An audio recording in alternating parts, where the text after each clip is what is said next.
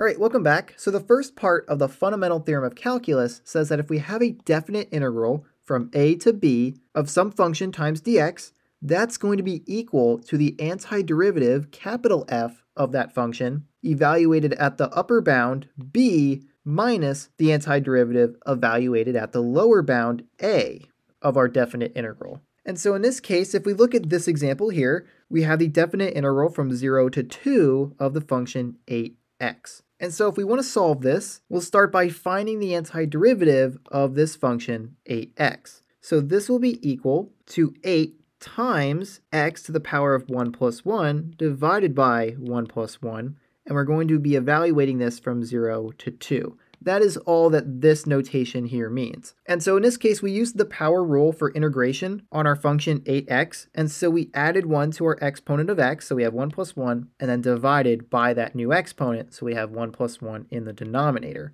And so 1 plus 1 is 2, and so 8 divided by 2 is 4. So this is going to be equal to 4 times x to the power of 1 plus 1, which is 2. So x squared. And that's still going to be evaluated from 0 to 2. And so, if we use the fundamental theorem of calculus here, this will be equal to this antiderivative of this function evaluated at 2 minus the evaluation of this antiderivative at 0. So we're going to have 4 times 2 squared minus 4 times 0 squared. And so 2 squared is 4, so we'll have 4 times 4 here. That will be 16, and then minus 4 times 0 squared. And 0 squared is 0, and so 0 times 4 is 0, and so we're just subtracting 0. And so this will be equal to 16 minus 0, which is just equal to 16.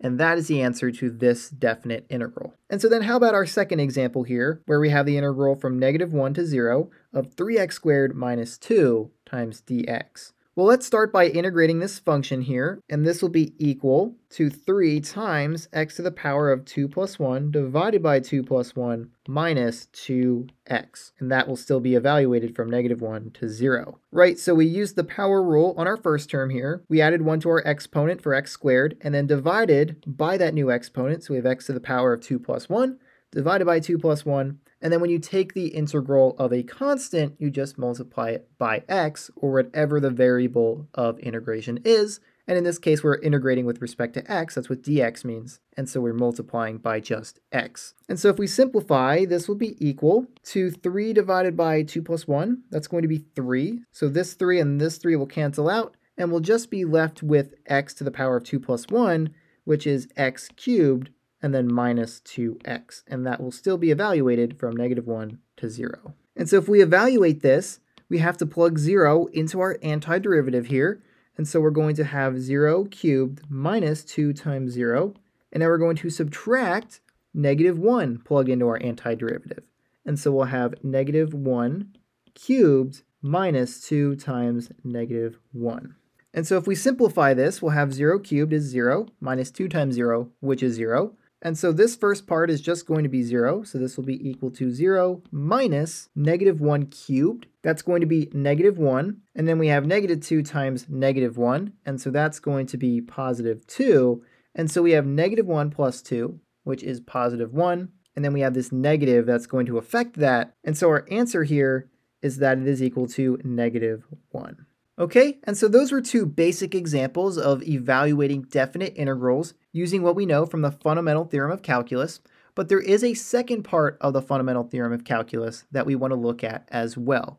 All right, so the second part of the fundamental theorem of calculus says that the derivative with respect to x of the integral from the lower bound a to the upper bound x of some function defined with t dt will be equal to f of x. And so for this example right here, we want to find what this is equal to. We want to find small f of x. And so if you wanted the quick answer for this example, you could just plug this upper bound x into this function, and you would find that f of x is equal to the square root of x.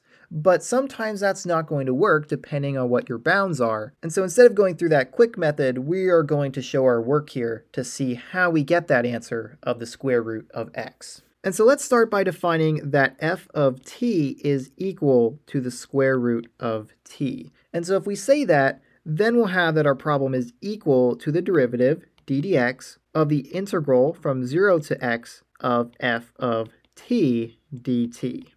And so then, if we go through with the integral here, this will be equal to d dx, or the derivative, of the antiderivative of our function evaluated from 0 to x. And so then if we plug in x and 0 into our antiderivative, this will be equal to the derivative of capital F of x minus capital F of 0. And so if we take the derivative of each of these terms, the derivative of f of 0 is going to be 0 because f of 0 is just a constant, right? This is not defined with x in any way, and so it's just a constant, meaning that the derivative will be 0. And so we don't need to worry about that term, but what would be the derivative of the antiderivative capital F of x? Well, that would be equal to the original function, f of x, right? If we integrate a function, we find the antiderivative, capital F of x, and so if we take the derivative of that antiderivative, we get back that function, small f of x. All right, and so now that we found that the derivative of these two terms is just equal to f of x, we can then plug x into our function over here, f of t, and find the answer to this problem. And so that means that f of x will be equal to plugging x into the square root of t, so we will have the square root of x. And so that would be the answer to this problem here. And so while you could skip all this work by just plugging this value of x in our upper bound there into this function, the square root of t, to get the square root of x, that's not always going to work in the future. So it's good to show this work so that you make sure that you do have the right answer. And so let's look at another example of using the second part of the fundamental theorem of calculus. All right, so for our next example, we have the derivative with respect to x of the integral from 4 to negative x of t cubed dt. And so just like we did with our last problem, let's start by setting our integrand, or what is inside our integral, the function here, t cubed, equal to f of t. So we're going to have that f of t is equal to t cubed. And so if we rewrite our problem, we'll have that this is equal to the derivative of the integral from 4 to negative x of f of t dt. And now we can take the integral of this function and this will be equal to d dx of the antiderivative of that function evaluated from 4 to negative x. And so now if we plug in each of these bounds into our antiderivative here, our next step will be that this is equal to the derivative of the antiderivative evaluated at negative x minus the antiderivative evaluated at 4. All right, and so then our next step is going to be to take the derivative of each of these terms. But now notice that something is going to be a little bit different this time. We're going to be taking the derivative of the antiderivative of negative x. And so what exactly is different here that is going to make this problem slightly more difficult? Well, we're actually going to need to use the chain rule to take the derivative of this term right here, right? We have an outside function, the antiderivative, and an inside function of negative x. In fact, we had that before, right? When we took the derivative of the antiderivative, and that inside function was just x, we technically were using the chain rule, but we didn't really worry about multiplying by the derivative of the inside function because the derivative of x is just 1, right? So this would have been equal to small f of x times 1, right? We took the derivative of the outside function, the derivative of the antiderivative is that small f of x, and then we multiply by the derivative of the inside function, which is x, and the derivative of x is 1. And so in this case, for negative x, we are going to be multiplying by the derivative of negative x, which is going to be negative 1. And so that means that this will be equal to the derivative of this outside function. So we're going to have small f of negative x times the derivative of the inside function, which is going to be negative 1. And then the derivative of capital F of 4 is just going to be 0 because this is a constant, right? We're just plugging 4 into the antiderivative. So it's just one big constant that we are going to differentiate and get 0. And so we'll have minus 0. But if we simplify this, this will be equal to negative small f of negative x. And so to find the answer for this specific problem, we are going to have to plug negative x into our function here, f of t, and then negate it because of this negative right here. And so we will have that this is equal to negative negative x cubed right? We plug negative x into t for this function, so we have negative x cubed, and we are negating that function. All right, and so then you could keep it in this form if you wanted to, but we can actually simplify this a little bit. It might not be initially obvious, but we can rewrite this to be equal to negative negative 1 cubed times x cubed right? We have negative 1 times x on the inside here. And so if we cube each part, we'd have negative 1 cubed and x cubed.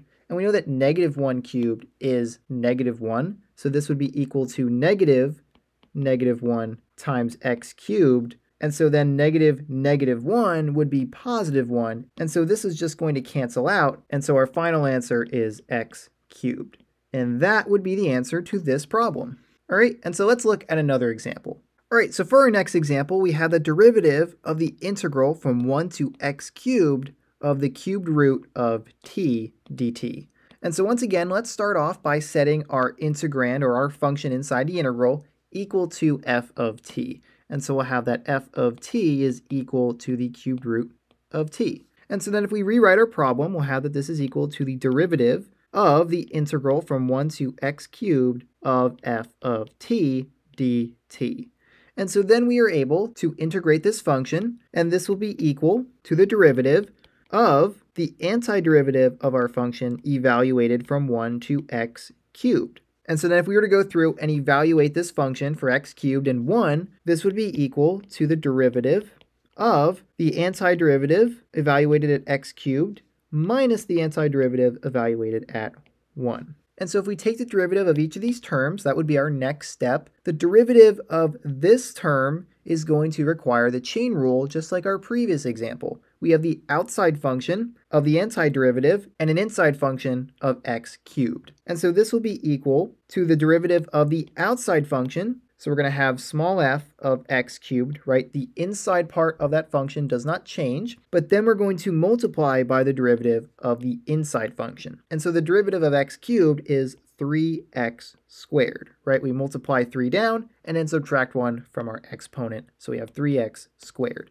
And then the derivative of the antiderivative evaluated at 1 is just going to be 0 because once again, this is a constant, and so the derivative of a constant is 0. So we have minus 0, and so that is equal to 3x squared times the function evaluated at x cubed. And so to find the final answer, we just have to plug x cubed into this function up here, f of t, and that will be f of x cubed. And so if we do that, we will have that this is equal to 3x squared times the cubed root of x cubed. Right, we plugged x cubed into this function, so we have the cubed root of x cubed. And so now the cube root of a cubed number is just going to be that number, right? And so this is just going to be equal to x. This cubed root and this cube will cancel out. And so this will be equal to 3x squared times x, which would then be equal to 3x cubed.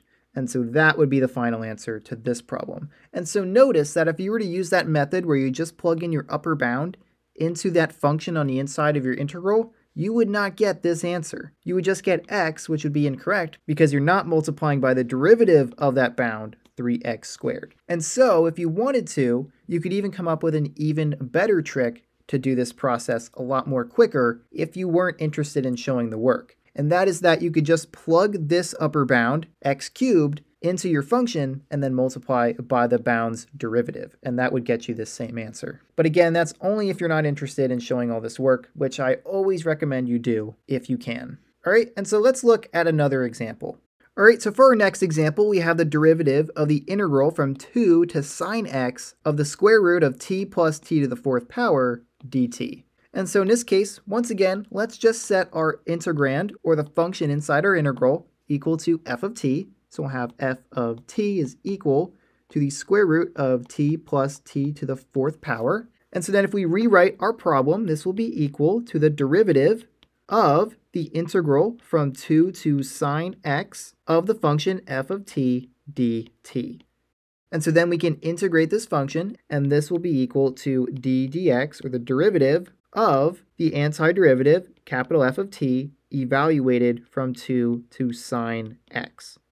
All right, and so then if we evaluate this antiderivative for sine x and 2, our next step will be that we will have the derivative, or d dx, of the antiderivative, capital F, of sine x minus capital F of 2. And so in this case, once again, we're going to need to use the chain rule to evaluate this part of our derivative. Our outside function is the antiderivative, or capital F, and our inside function is sine x. And so in this case, our derivative will be equal to small f of sine x times the derivative of the inside function. And the derivative of sine x is cosine x. So we'll be multiplying by cosine x. And then the derivative of capital F of 2, once again, this is a constant, so the derivative is just 0. So we'll subtract 0. And so that means that this is equal to f of sine x times cosine x. And so to figure out what this is equal to, we need to plug sine x into our function up here, f of t. And so if we do that, our answer will be equal to that cosine x times sine x plugged into our function here. So we will have the square root of sine x plus sine to the fourth power x. And so this would be the final answer to this problem. So once again, if you wanted a quick method, you could just plug sine x into each t in this integrand and then multiply by the derivative of the bound cosine x. And so let's look at one more final example for this video. All right, so for our last example, we have the derivative of the integral from x squared to x to the fourth power of the square root of t plus 1 dt. And so let's start this problem like we did with the other ones. Let's set our function inside the integral equal to f of t. So we'll have f of t is equal to the square root of t plus 1. And so then if we rewrite our problem, this will be equal to the derivative of the integral from x squared to x to the fourth power of the function f of t dt. And so then we'll integrate this function, and so this will be equal to the derivative of the antiderivative capital F of t, evaluated from x squared to x to the fourth power. And so now we're finally getting to the somewhat tricky part, but it's not going to be too bad if you've been following along with our previous examples. We'll start by evaluating our antiderivative on x to the fourth power and x squared. And so we'll have that this is equal to the derivative, or d dx, of capital F of x to the fourth power minus capital F of x to the second power, or x squared. And so now, instead of having one throwaway term where the derivative was just zero because it was a constant, we now actually have two functions here that are going to require the chain rule to take the derivative of. And so let's start with our first term, and then we'll move into our second term. And so this will be equal to the derivative of the outside function, which is going to be the antiderivative here. So we're going to have small f of x to the fourth power, right? We do not change that inside function, but then we're going to multiply by the derivative of that inside function. And the derivative of x to the fourth power is going to be 4x cubed, right? We multiply by our exponent and then subtract 1 from that exponent, so we have 4x cubed. And then we're going to subtract the derivative of this term. And so we'll start by taking the derivative of the outside function once again. And so we're going to have small f of x squared, right? We don't change that inside function, but then we're going to multiply by the derivative of x squared.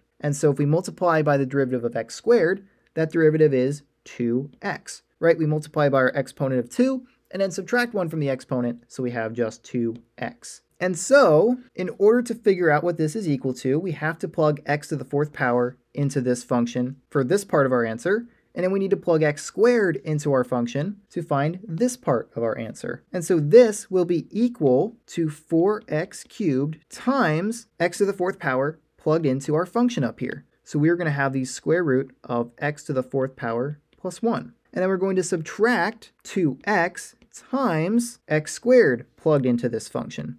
So then we will have the square root of x squared plus 1. And so that would make this the final answer to this problem. And so if you wanted to know the quick way to find this answer without going through all this work, all you would have to do is plug in your upper bound into this function and then multiply it by the derivative of that bound. So that would get you this term and then subtract the lower bound plugged into this function. So you'd have this part right here, and then you would multiply by the derivative of that lower bound. So you'd have 2x times what you found from plugging it in to that function. And so that would be the quick way to find this answer. But of course, like I said, it's always better to show your work so you can see how to get that answer. All right, and so that was the last example for this video. If you have any questions, feel free to leave those in the comments. But if you don't have any questions, this is all I had for now. So I will see you next time.